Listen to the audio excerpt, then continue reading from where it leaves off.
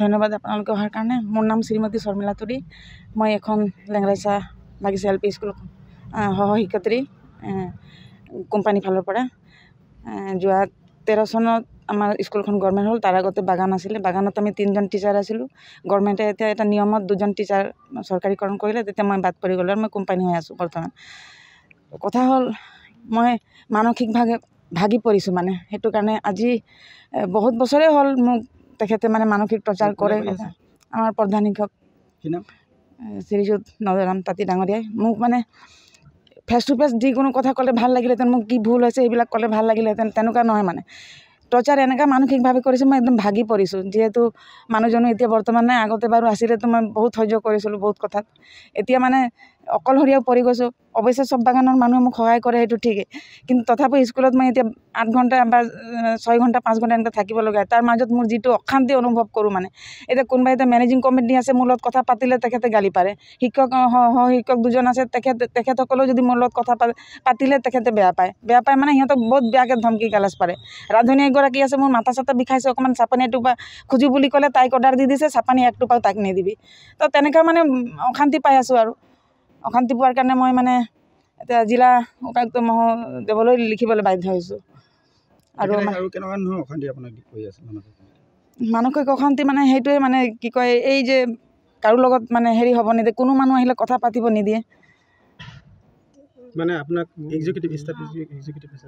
নাই নকৰে টিচাৰ হিচাপে মোক মানে একেবাৰে গ্ৰহণ নকৰে। চবতকৈ ডাঙৰ কথা হ'লে সেইটো। মানিছোঁ মই কোম্পানী তেখেতেও কোম্পানী এদিন আছিলে। তেখেতেও আছিলে। সেই কথাটো সেই দিনটো পাহৰিছে মানে। এতিয়া তেখেতে গভৰ্ণমেণ্ট হোৱাৰ পাছত এইটো বাধ্যতামূলক হ'ল যে ডি এল এড কৰিব লাগে হেড টিচাৰে সেইটোতো আমিও গম পাইছোঁ। এতিয়া কোম্পানী মোক যদি ডি এল এড কৰিব পাৰে মই কৰিলোঁহেঁতেন। কিন্তু আমাক তেনেকৈ মোক তেনেকৈ অথৰিটি দিয়া নাই। তাৰপাছত আমাৰ এজন সহ শিক্ষক আছে অজিত তাঁতী ডাঙৰীয়া তেওঁ ডি এল এড নাই কৰা। তো তেখেতক ডি এল এডৰ কমপ্লেইনটো কেলৈ নাহে? অকল মোৰ ওপৰতে আহিব এই বোলে যাক তাক শুনাব ডি এল এড নাই কৰা ডি এল এড নাই কৰা। তো ডি এল এড নকৰাৰ কাৰণ আছে কৰিব ক'লে মই এতিয়াও কৰিম সেইটো মোৰ সাহস আছে কৰিবলৈ পঢ়িবও সাহস আছে তেনেকুৱা আৰু। ইমানেই কথা আছে আৰু কি ক'ম বহুত দুখ লাগিছে মুঠৰ ওপৰত মানে।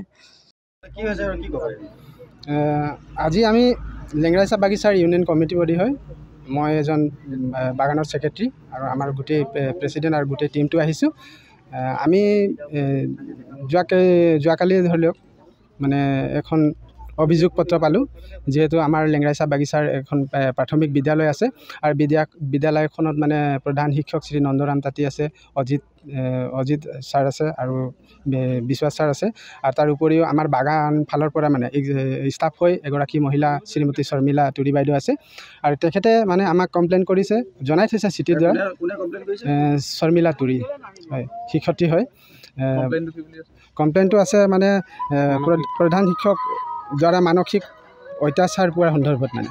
তো গতিকে আমি আজি এইখন স্কুলত উপস্থিত হ'লোঁ আমাৰ কমিটি হৈ আৰু জানিব বিচাৰিলোঁ প্ৰধান শিক্ষকক আমি মাতিলোঁ। যিহেতু আমাৰ স্কুলত ক্লাছো চলি আছে ল'ৰা ছোৱালীৰো যাতে মানে ডিষ্টাৰ্ব নহওক সেই কথাটো লক্ষ্য ৰাখি পেলাই তেখেতক আমি বাহিৰত মাতিলোঁ। বাহিৰত মাতি আমি সুধিলোঁ যে আমি এনেকৈ তেনেকৈ ধৰি লওক হেৰি অভিযোগ পত্ৰ এটা পাইছোঁ গতিকে সম্পূৰ্ণ কথাখিনি আমাক জনাব লাগে যাতে যদি ইয়াত কিবা খেলি মেলি হয় বদনাম হয় গোটেই স্কুলখনৰ উপৰিও বাগানখনৰ বদনাম এটা আহি পৰিব।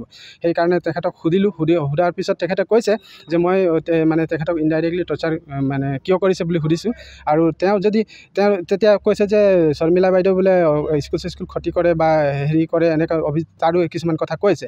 তেতিয়া তেখেতক আমি ক'লোঁ যে যদি ক্ষতি কৰিছে বা স্কুলৰ সময়তে সময়মতে যদি উপস্থিত নহয় তেতিয়া তেনেহ'লে আপুনি প্ৰধান শিক্ষক হিচাপে তাৰ লিগেলি একশ্যনটো কেলৈ কেলৈ লোৱা নাই? তেই কৈছে নহয় বোলে চবকে আমি জনাই থৈছোঁ। আগতে যি ইউনিয়ন ছেক্ৰেটাৰী প্ৰেচিডেণ্ট আছিলে পৰিচালক আছিলে বাগানত তেখেতসকলক মৌখিকভাৱে মই কৈছোঁ মৌখিকভাৱে জনোৱাটো আৰু আপুনি লিগেল হিচাপে কাগজ পত্ৰদি জনোৱাটো সেইটো বহুত মানে পাৰ্থক্য আছে। আপুনি যদি তেখেতৰ অভিযোগটো পাই যদি আমি আহিছোঁ আপুনি যদি স্কুলখনৰ এই অনুষ্ঠানৰ প্ৰতি যদি হেৰি এটা আছে তেতিয়াহ'লে তেখেতৰ যিটো ভুল আছে সেই ভুলটো যদি আমাক লিখিতভাৱে জনোৱা হ'লে আমিও তেখেতৰ মানে হেৰি হেৰিটো জানিব আহিলোঁ হয়। আমি এই কথাটো লৈয়ে আহিছিলোঁ আৰু ইমানখিনি কথাটো তেখেতৰ লগত আলোচনা কৰাৰ পিছত গম পাইছোঁ যে হয় নিশ্চয় তেখেতক মানসিক টৰ্চাৰ কৰাটো আমাৰ এতিয়া মানে মনত এটা হেৰি থাকি গ'ল। সন্দেহজনক থাকি গ'ল যে স্পষ্ট হোৱা নাই কথাটো। তেওঁ কিয় প্ৰধান শিক্ষক হিচাপে লিগেলি একশ্যনটো লোৱা নাই আৰু আজি দুই তিনি বছৰ ধৰি তেখেতক মানে মানসিক টৰ্চাৰ কৰিছে। কাৰণ মই এইটো কাৰণে দুখ পাইছোঁ যিহেতু মহিলাগৰাকী আজি তেখেতৰ স্বামী ঢুকা দুই তিনি বছৰে হৈ আছে আৰু বহুত কষ্টৰে হয়তো তেওঁ মানে ঘৰখন চলাই আছে। তেনেকুৱা মহিলাগৰাকীক ইনডাইৰেক্টলি মানে মানসিকভাৱে টৰ্চাৰ কৰাটো আমি খুব ঘৃণনীয় বুলি ভাবিছোঁ আৰু এই প্ৰকাৰে ঘৃণনীয় কাৰ্য কৰাটো যি- যিখন স্কুল আছে স্কুলৰ প্ৰধান পৰিচালকো আমি গৰিহণা দিছোঁ। অভিযোগ কৰিছে যে আপুনি তেখেতক মানসিকভাৱে স্কুলত মানসিক টৰ্চাৰ কৰি আছে কি ক'ব? এইবোৰে? মানে তেখেতৰ মনে কৰা কাহিনী। কাৰণ মই কোনোদিনাই তেখেতক হেৰি নাই কৰা। কাৰণ তাই এতিয়া কেইবাবছৰো ধৰি তাই স্কুল সময়মতে নাহে। এক নম্বৰ। স্কুল মতে সময়মতে নাহিলেও আৰু অহাৰ স্কুল সময়মতে নহাটোতো দূৰৰ কথা। তাই কেতিয়াও মানে যেতিয়াই পায় তেতিয়াই গুচি যায়। আৰু মই যেতিয়া তেতিয়া কোম্পানীহঁতক আগত মোৰ ফোন নম্বৰ আছিলে মই তেতিয়া অৱগত কৰিছিলোঁ যে তাই কেলৈ স্কুল নাহে। কোম্পানীও একো একশ্যন নলয়। কোম্পানীয়ে যেতিয়া তাক পাৰিশ্ৰমিক দিছে তেতিয়া মইনো তাত কি একশ্যন ল'ম? গতিকে এনেকৈ চলি আছে। গতিকে মই আৰু কোনো তাক শাৰীৰিক টৰ্চাৰ মানসিক কৰিছে বুলি ভাবিছে। যদি কোম্পানীয়ে একো একশ্যন নলয় মই সেইকাৰণে তাৰ লগত মাত বোল নকৰোঁ। আপুনি কিবা অভিযোগ দাখিল কৰিছে নেকি? মই তেনেকুৱা অভিযোগ দাখিল নাই কৰা কাৰণ মোৰ এছ এম চিক মই কথাটো অৱগত কৰাইছিলোঁ। আৰু পুৰণা যিটো এতিয়া নতুনকৈ নিউ সিহঁতৰ বাগানৰ ইউনিট কমিটি হৈছে কিন্তু আগত যিখিনি ইউনিট কমিটি আছিলে মই সিহঁতক নিশ্চয় অৱগত কৰাইছোঁ যে আপোনালোকৰ কোম্পানীৰ টিচাৰ যিগৰাকী হয় সময়মতে নাহে ইৰেগুলাৰ গতিকে আপোনালোকে চিন্তা স্থানীয় ৰাইজক সুধিছোঁ তেখেতলোকেতো বাইদেউ ঠিক টাইমতে আহে বুলি কৈ আছে। সেইটো সিহঁতে কেতিয়াও নাজানে সিহঁতে বাহিৰা মানুহ। আৰু মই যিটো মই ইয়াৰ বিদ্যালয়ৰ প্ৰধান শিক্ষক হিচাপে মই মই মই জানো। আপোনাৰ হা। আপোনাৰ পৰা অভিযোগ আছে আগতে ছাত্ৰক আপুনি ইয়াৰ পৰা স্কুলৰ পৰা উলিয়াই দিছে বুলি কৈছে আৰু সেইটো মিছা কথা সম্পূৰ্ণ মনে কৰা কৰা নহয় কেতিয়াও নহয়। সেইটো কেতিয়াও হ'ব নোৱাৰে। কাৰণ মই আজিকালি ৰাইট টু এক্ট মতে যিটো দুহেজাৰ ন ৰাইট শিক্ষাৰ অধিকাৰ আইন মতে মই ল'ৰাক টাচেই নকৰোঁ আজিকালি। কাৰণ আজিকালি মাৰপিট আগতে মানে ধৰক বহুত দিনৰ কথা এতিয়াতো ক'ব নোৱাৰোঁ কেতিয়া কৰিছিলোঁ। কিন্তু এতিয়াতো যেতিয়াৰ পৰা এতিয়া এইটো ৰাইট টু এক্ট হৈছে তেতিয়াৰ পৰা আৰু কেতিয়া আহিছোঁ এতিয়া যিখিনি কৈছে কথা সিহঁতে গোটেইখিনি কথা তাৰ আচলতে তাই মুঠতে তাই সম্পূৰ্ণ মনে কৰা কাহিনী তাই মোক ফচাম বুলি ভাবি আহিকে কৈছে গোটেই মহিলা সমিতিক কৈছে গতিকে আজি যদি এইখন যদি সিহঁতি মতাৰ আছিলে আমাৰ এছ এম চিকো মাতিব লাগিছিলে এছ এম চিক এই অলপ আগতে সিহঁতি কাগজখন দিছে। হা আৰু এইখিনি আপোনাক মানে ফচোৱাৰ কি কাৰণ? এনে মনে হৈছে মনে ফচুৱাৰ মানে এইটো বদনাম এটা কৰিব পাৰে লেংৰাই মানে হেডমাষ্টাৰটো যাতে এনেকুৱা হৈছে। হা, এক মিনিট। নাতি ল'ৰাটো। কি হৈছিল আপোনাৰ আপোনাৰ নাতি ল'ৰাটো? নাতি ল'ৰাটো ইয়াত তিন ক্লাছত পঢ়ি আছিলে। এই এইটো স্কুলত এইটোৱে ঘৰ মোৰ ওচৰত।